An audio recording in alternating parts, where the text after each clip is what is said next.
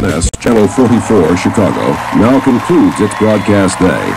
Be sure to join WSNS tomorrow for another full schedule of information, discussion, news, sports, and entertainment programming. And now, our national anthem.